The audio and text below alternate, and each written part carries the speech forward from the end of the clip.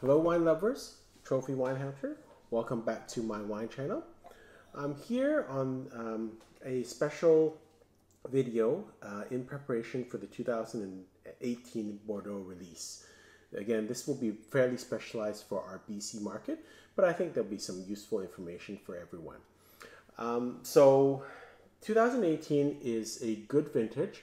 I was fortunate enough to travel to Bordeaux pre COVID. I did um, buy en primeur uh, futures, and I actually did um, taste the 2018 vintage. I was also fortunate to be in Bordeaux for the 2016 vintage. Um, so um, on the 2018 vintage, um, it was a good vintage. There was uh, it wasn't uh, uniformly uh, good. It was hot at the end. There was some um, uh, climatic variations in weather. Um, but it turned out to be a great uh, vintage uh, all around.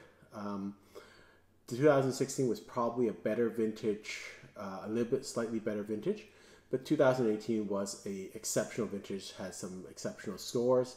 I purchased mostly from the Pomerol region um, on the futures market, and um, that's what I can say in, in general. And so this is a video for BC residents we get a release every year, and this is part one of this release. So, um, because of COVID, it's how it's done in BC is that there is a um, two parts to it. So, the first part is a pre-order session from September 3rd to September 5th. You can book certain wines, and then um, that's a first come first serve. And I'm going to go through these wines. Part two, um, there's actually a release of the uh, kind of um, less expensive wines on September 25th, and I'll go through that in a separate video. But I thought I'd get this out for people um, who might be interested in ordering. Um, I'm going to get this out. So uh, the deadline, I think, for ordering pre pre-ordering is September 5th, and um, you can only order once. So once you've made that selection, you can't change it. Let's talk a little bit about the 2018 vintage. Again, it was a good, very, very well rated vintage. You're going to see a lot of great wines. But you also have to remember this was pre COVID. And so um, if you go back, I know it's so hard to go back uh, pre COVID, but at that time, the market was really elevating. Um, Bordeaux had a couple of um, not as, in terms of the pricing, it wasn't as good and was just coming back. Everyone was feeling good. The market was coming back financially, everyone's coming back. And so the market was really picking up. So that really was a high point. Um, and going back, the 16 vintage was very highly rated, very well bought. 17 was um, okay year, uh, not terrible, but okay. And 2018, people were really looking forward to it, and so there was a lot of buying, and consequently, um, the futures prices were expensive, and that's what you'll see in these prices today.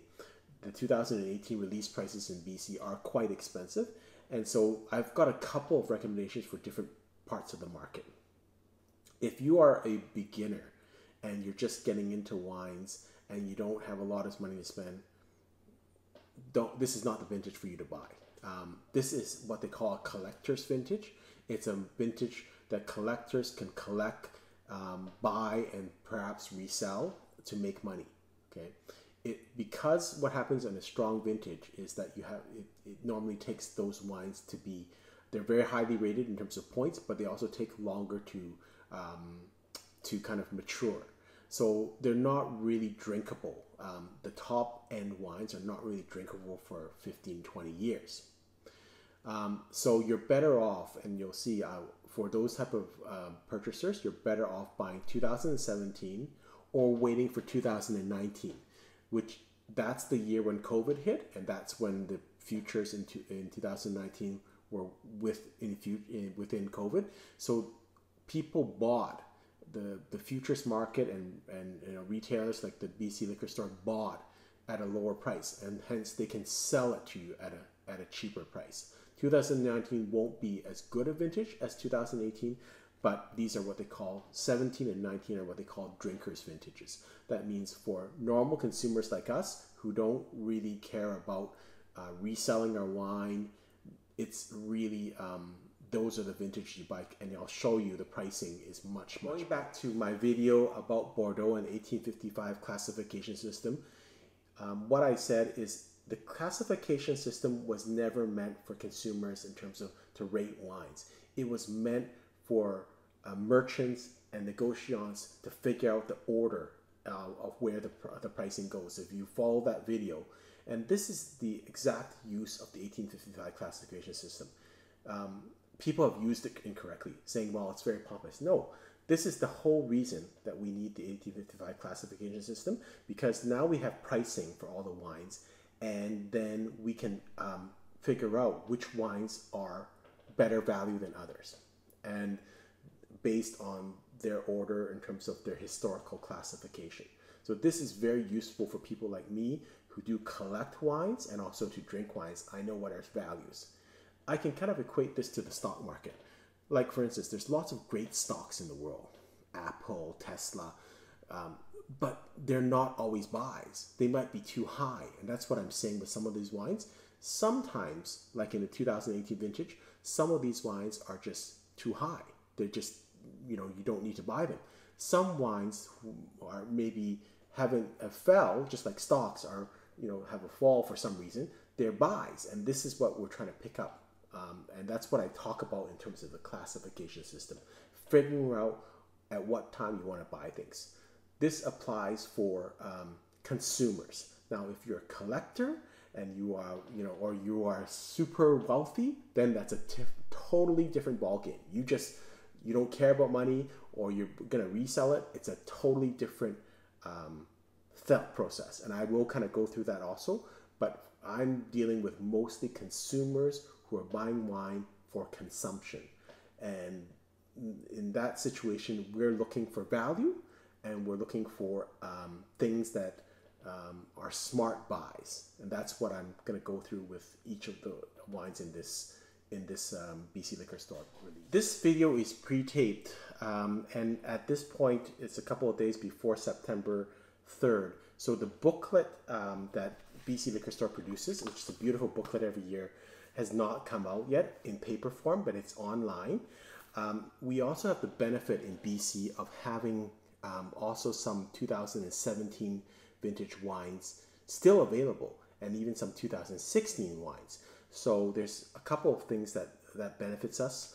One, we can have a choice in terms of the pricing of different vintages, and secondly, it gives us a very nice way of building up a vertical of a certain wine very quickly and it's that's very useful for education. So i'm going to go through what they call the pre-order wines. These are the wines that you have to um, order online um, and pre-order on between september and 3rd and 5th then you can pick it up on september 25th and i'm just going to go through the ones that i think are interesting or have some comment on okay? So um, p1 is uh, in the book is Chateau Angelus, It's priced at a thousand dollars a bottle. Angelus is a great wine, but that's um, fairly expensive for this bottle. And so, um, again, if you are a person that's a collector um, or you have tons of money, of course, go out and buy it. But to me, that's a little bit as an example of a high priced wine, a little bit high for what it should be. Um, Angelus is the price of that. I wouldn't buy it at that price. If I was going to buy Angelus, I would have bought it um, in the futures market, which would give you a 30 to 50 by five, 30 to 50 percent discount.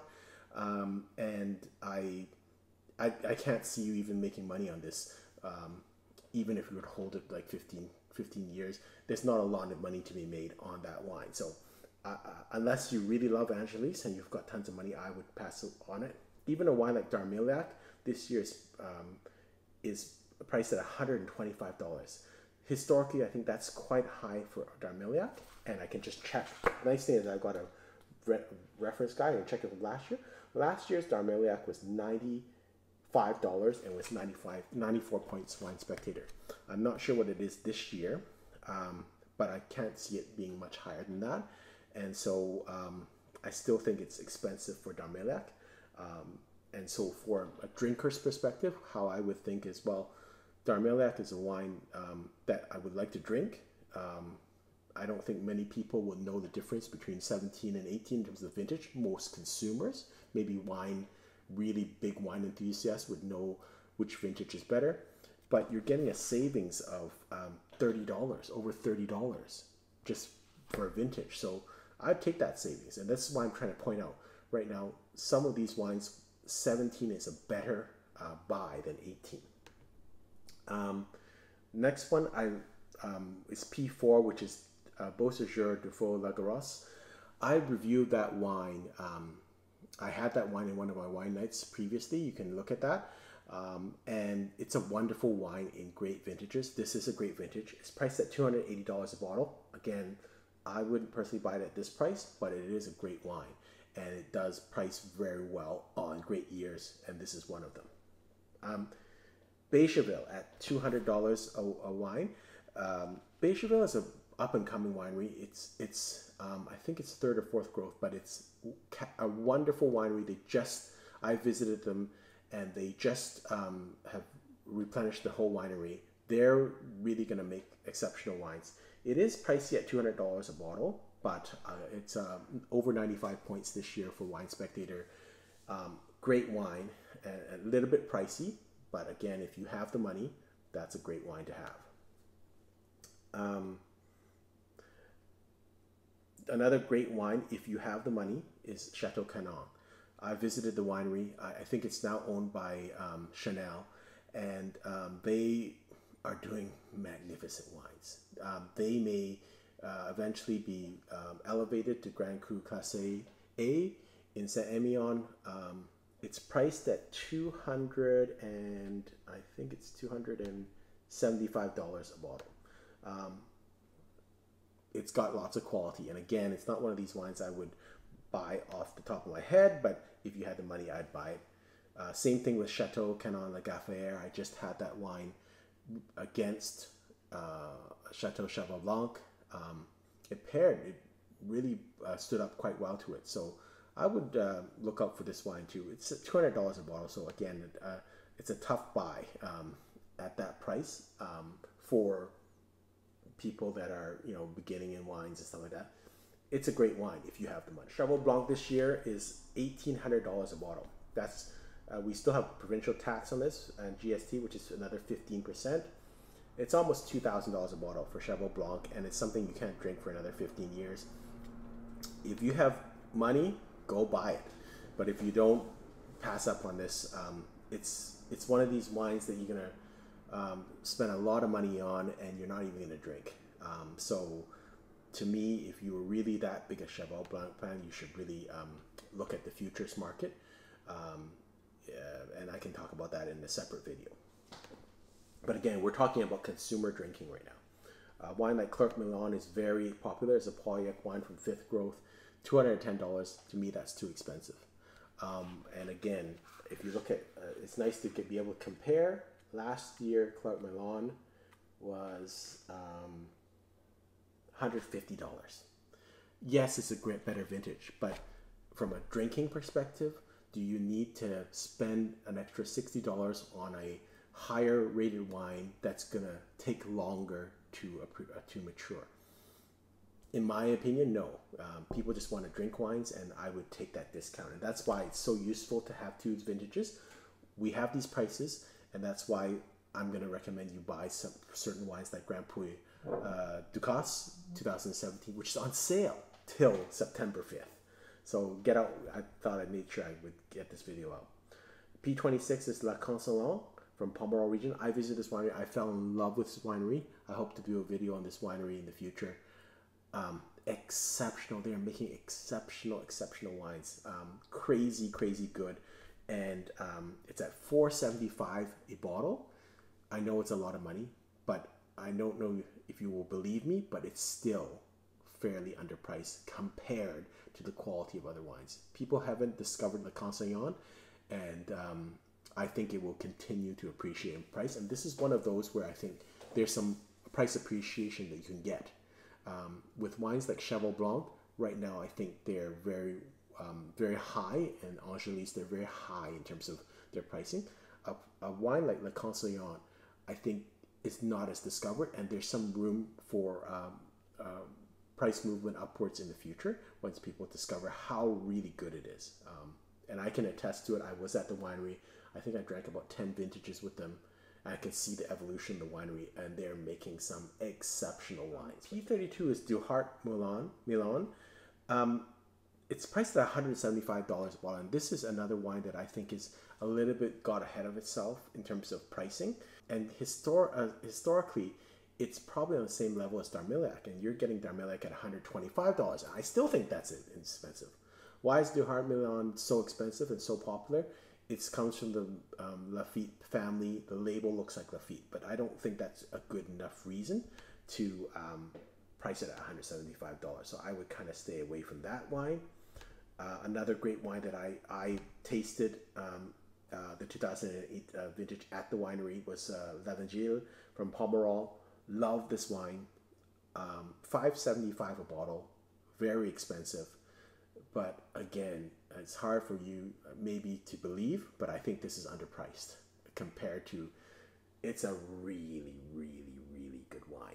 Um, and if you look at Angelus at a thousand dollars, I'm not sure I would um, take that over a bottle of L'Evangile, L'Evangile, which is almost half the price. So that's why I'm saying it's it's it's got some value there. Um, same thing with Figeac, although it's a little bit priced, um, a little bit too high, higher price than I would like. Um, um, Giscours. So this is the other thing. If you looked at my um, video um, on the 1855 um, classification system, there's a lot of Margaux region wines that are in that classification system and have historically over the 150 years been very good wines over the last 30 or 40 years, they've been not as good. And so now they're coming back. And Giscours is one of those wines, third growth. It's a 95 point or 96 point rated wine this year by Wine Spectator. It's at $150. Great value. Uh, I know it's hard to say a, a, a $150 bottle of wine is great value, but I think it's um, it's a third growth. So again, going back to the order, you've got Duhart Milon that's not has a has a lower rating. You've got this wine, which is actually a, a higher growth, that's higher rated. So why would it be lower price? Because historically, uh, the last little while, it hasn't done as well. But it's coming back, and I think you're gonna get some. That's why I'm saying wines from Margaux, actually, relatively speaking, are um, undervalued right now, and you can buy them. And this is the use of the 1855 classification system, which people I think a lot of times miss out. This is why we use the 1855 classification system.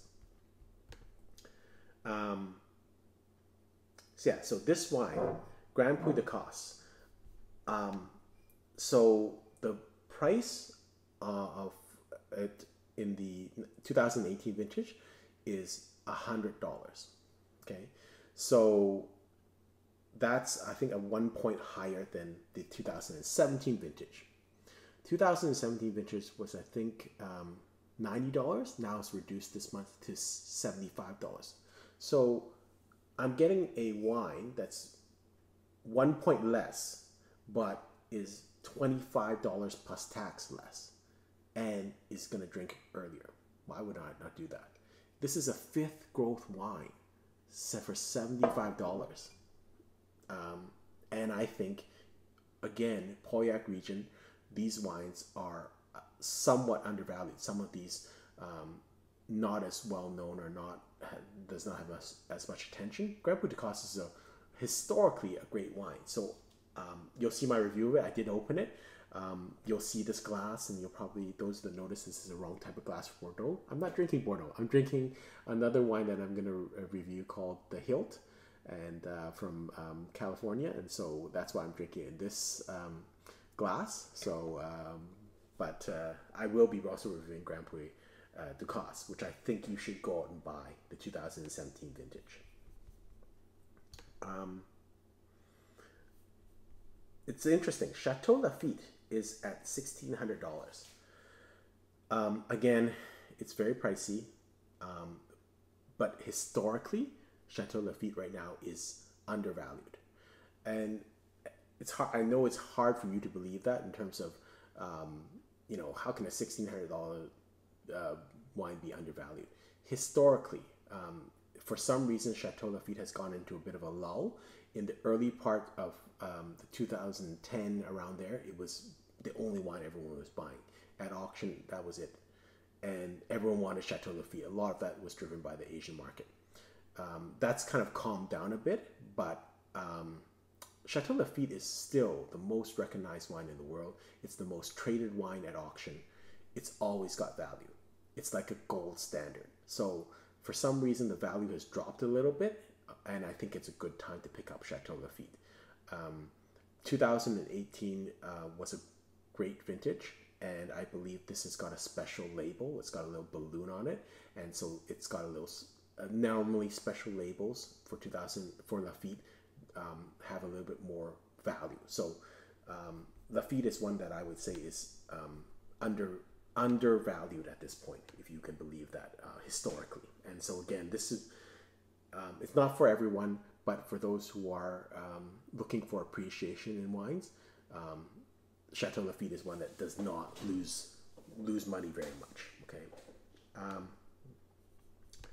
Next wine we're going to go to is um, Leoville Barton. Um, again, has had some great success over the last little while. Has been overshadowed by Leoville Las Cases for many years. Both of them are second growth. So as an example here, this year Leoville Las Cases is priced at $550 a bottle.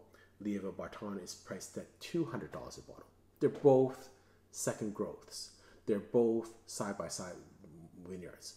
So what you're saying is the winemaker or their their their management of wine is worth two and a half times the Leoville Barton. To me, that means the Leoville Barton is a is a reasonable buy if you have the money. Again, it's all about you know. I'm not suggesting that anyone has to buy Bordeaux, but if you are going to buy Bordeaux and you have the money, these are good values. And Leoville Barton is a relatively uh, good value in this situation, right? Um, a couple of other, this is my probably the only wine I will pick up on that day. Um, it's P69, it's Marquis d'Alesme uh, Becker from Margaux. Um, not well known wine. I think it's a third growth wine. Absolute superstar wine if you're talking about the 20s and 30s. So um, it's lost its reputation a bit. It's coming back. This has been a this was an exceptional vintage from Marquis d'Alesme uh, Becker. Um, and unbelievable price on this is $120. To me, that's a steal. Uh, it's a 95 or 96 point wine. There's no reason it should be priced at that price. Again, we go to this comparison. Some of the other wines I've talked about, um, d'Armailhac uh, or Duhart seventy-five dollars, not as rated as highest. This is a higher rated, higher rated ranking wine, higher ranked, um, and it's what fifty dollars less.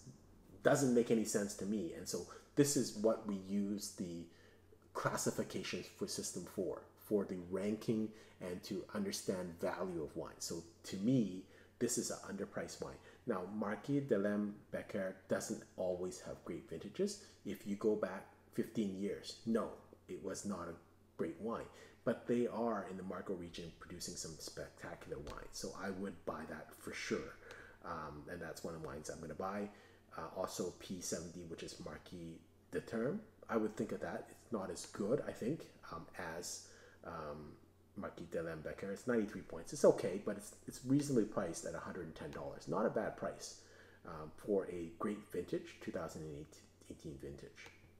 Um, Mouton Rothschild, P74. Mouton is actually um, quite has been a superstar over the last five years, so it's kind of at its high point. So I'm not going to say it's not worth it, but it is at its high point. They've also really made some great wines. Um, 2018 Mouton is to me a buy at $1,500. Why? Because they've got a special label again that wasn't announced, but they chose a Chinese artist. And if you look at the label, the artist um, did a um, the words Mouton in um, kind of did two Chinese characters, but inside you can see the word Mouton in there. It's really neat. That's gonna be kind of collectible, and it's also a great wine. So um, I think this will be a sought after label, and Mouton does that a lot. Um, they have a lot of special labels which are sought after. Um, they've had um, all types of um, great artists like Picasso also has done, done um, their artwork. So this is going to be a special label, and, and, I think actually, despite the price, it's a good buy. A reasonable buy. I won't say good buy, but a reasonable. Sorry, I this video has gone on and on, but I wanted to try and go through as much as I could. Um, I'll just go through two other wines. Uh, P85 is Chateau Petrus. It is $3,800 a bottle. I know it's a lot of money.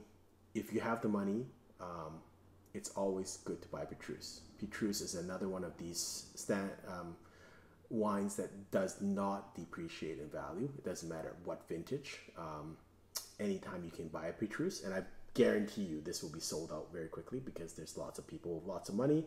And um, if you if money is no object, you wouldn't even think for sure you'd buy Petrus if you were offered it.